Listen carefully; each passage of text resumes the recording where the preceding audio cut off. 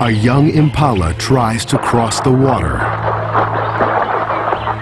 But then, he's held fast in a crocodile's powerful jaws.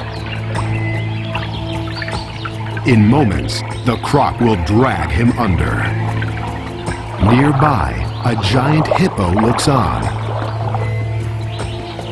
Then, amazingly, it's driven the crocodile off. What follows is even more incredible. At first, it might look like the hippo wants to claim this meal for itself, but that's not what's happening.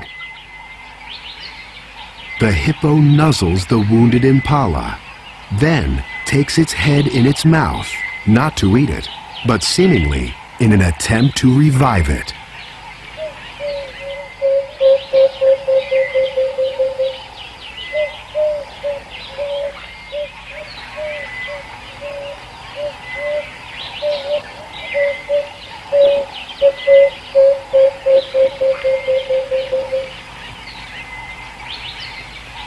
But it's no use.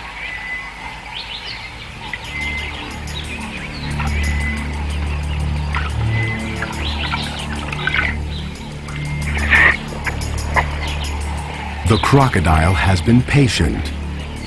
It emerges from the water and reclaims its prize.